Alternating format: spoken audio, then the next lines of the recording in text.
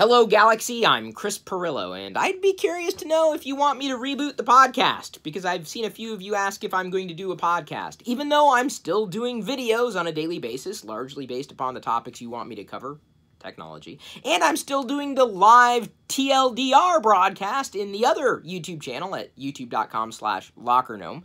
That's about an hour long every day, and it's mainly an AMA, a Q&A uh, with you and me, so that allows you to dictate the content that I'm able to give to you. But what about a podcast that allows you to call in? And it's easy for me to produce. It's one of the reasons I stopped doing the podcast. I was doing podcasting before podcasting was a thing.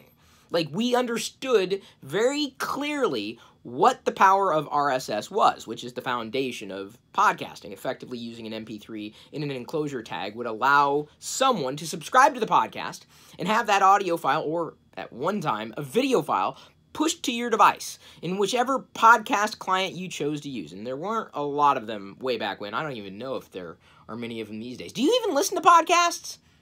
Like, I, I don't even know if if you're interested at all. But here's the idea uh, it's push button simple. Like that that's what thrills me. Like I am not interested in getting mired in you know all sorts of complexities just to give you the things that you want. I mean, I want to give you the things you want, but I got to make it easy for me too. Like it's easy to press a button and listen, but when it comes to podcasting, it's not that simple. Like typically not that simple, and that's really kept me from going the route of rebooting the podcast but I, uh, I am going to do it. I, I'm going to try it, and I'm going to hope that you are just as interested as I am. Effectively, I found an app a little while ago called Anchor. It's free. It's cross-platform, primarily mobile, which these days means iOS and Android. Uh, and with Anchor, I press a button, I talk, and then I press a button. Actually, I swipe up in order to, you know, keep talking and have it virtually held down, but that's, you know, just a detail on my end. And then it gets published to, to my anchor feed as well as to a podcast feed, which is now being submitted to all the major podcast places that I know of. And you may know of one that I don't know of. So either way, uh, I did the the first podcast, which was just kind of setting the stage for my thoughts behind doing this podcast. But the crux of the podcast is different from the crux of the videos that I'm providing in this channel. Largely uh, a talking head video, me talking about a topic that I want to talk about. Uh, right now, I want to talk about podcasting in general and, and, and where I believe it is, where I believe it's going, what's kept me from it, etc.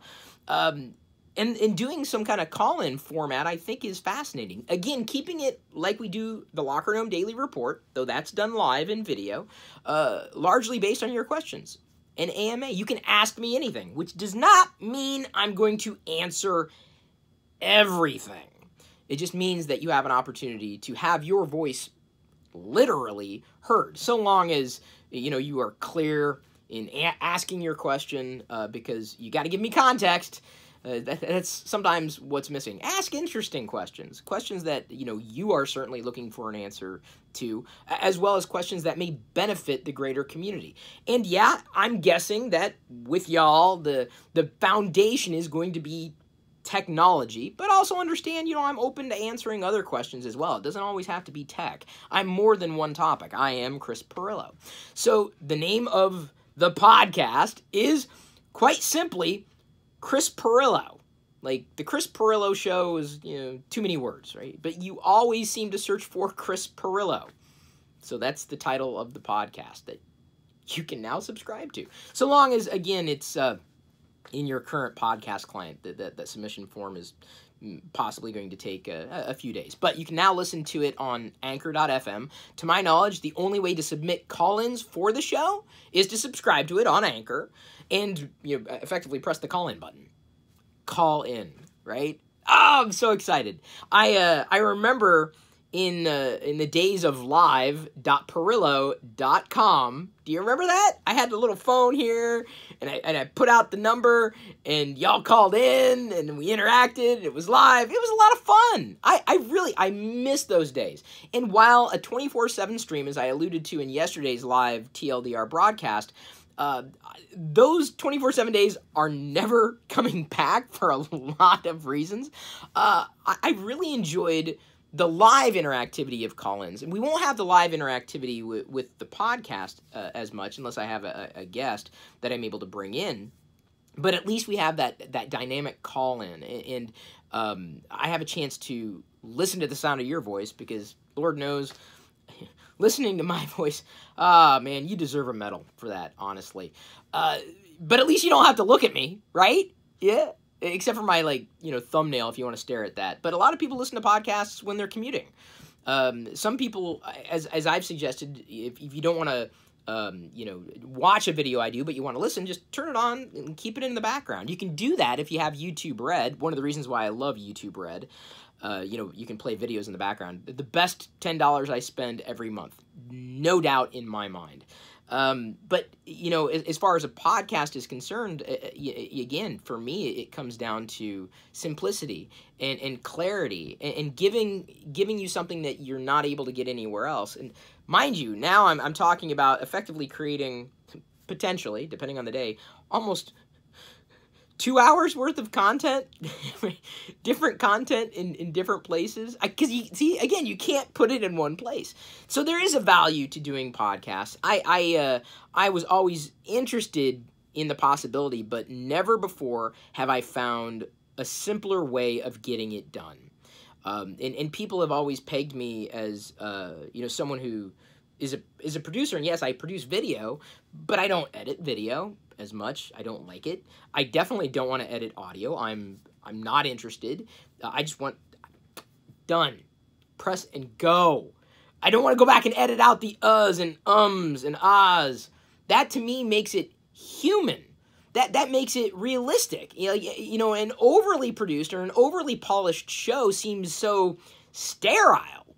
Like I've had this conversation with Diana and I actually the first edition of the podcast I did last night I did it in the car, and Jedi was in the car. It was so awesome. But the audio quality turned out to not be good because I forgot that I can't be charging my phone at the same time. Otherwise, this background chirping noise happens. Oh, maybe you're interested in hearing that one. If you are, maybe I'll maybe I'll share that in an unlisted capacity and put that link in the in the in the video's description, just as a bonus for everybody who listened this far, because it was good. You just got to put up with not so great audio quality.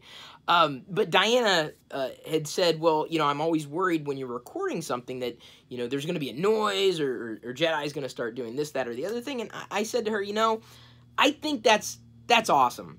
I don't mind doing that, especially if I'm not planning on you know doing an edited video and you have to be really careful with audio because to me it personalizes it more. It, it makes me more human. Uh, that's life. That's that's how it happens. Life happens in an unscripted capacity.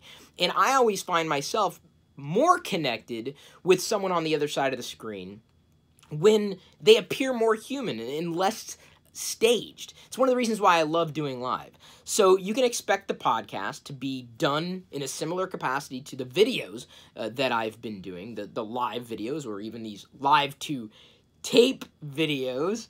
Uh, it just it's just raw me talking about the things that you want me to talk about. So I'm interested. I'm I'm uh, personally interested, but it's only going to work if you are interested. So you got to let me know. Are you interested? You got to follow me on Anchor because that's the only way to do the call in. Uh, yeah, you've got to let me know which podcasting clients you prefer, how you listen to podcasts, where you listen to podcasts, you know, maybe even what podcasts you listen to. People ask me uh, very frequently, what podcasts you listen to? I'm like, I'm not usually a, a consumer, but most of my podcasts, going to be honest with you, Star Wars. Uh, and if it's not Star Wars, then it's This American Life. I, I don't listen to a lot of tech podcasts because I listen and I'm like, okay, I, I, I'm compelled to listen for a topic uh, on a, on a, a one-off basis, but subscribing to, to something that I already know and I already understand isn't as compelling for me. I, I know Star Wars. I love Star Wars. This is my fandom, but it's different when I revel in this fandom versus talking about a, a, a topic that I, I already understand and hearing people regurgitate the things that I already understand.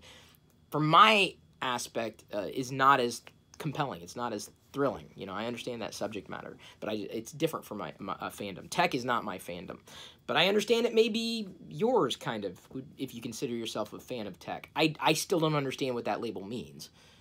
Someone's yet to define it for me. I, I understand the value, but to me, it's it's uh it's an enabler. Technology is an enabler. Like tech is in everything. You can't you cannot possibly be a fan of everything.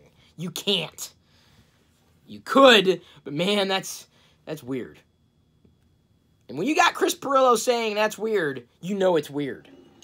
So, there you go.